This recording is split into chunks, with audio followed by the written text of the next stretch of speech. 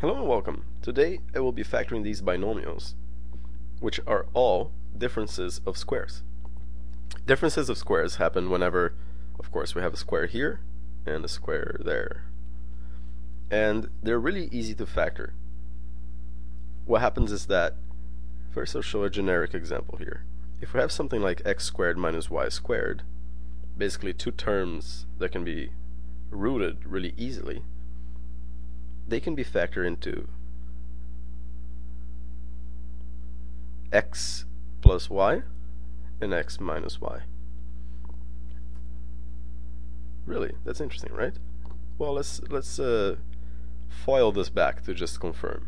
Okay, x times x is x squared. x times negative y, negative xy. y times x is just really xy again. And y times negative y, negative y squared. Okay, so these two terms cancel out because negative xy plus xy is 0. So the answer is x squared minus y squared. Uh-huh. So x squared minus y squared factors into x plus y times x minus y. Great.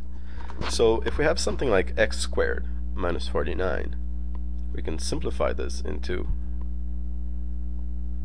x plus 7 times x minus 7. Done and factored. What about this one? The root of 9x squared is 3x. Of course, because 3x times 3x is 9x squared. So 3x and 3x. The root of 1 is just 1, so we're going to put a negative 1 here, positive 1 there. Oh, but here it put positive, then it put negative, here it reversed them. Does it matter? No.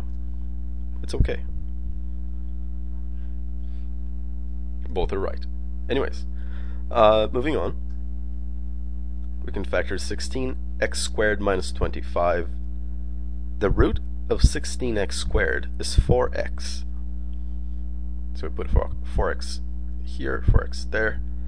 The root of 25 is 5, so we put a negative 5 here, a positive 5 there, and we're done.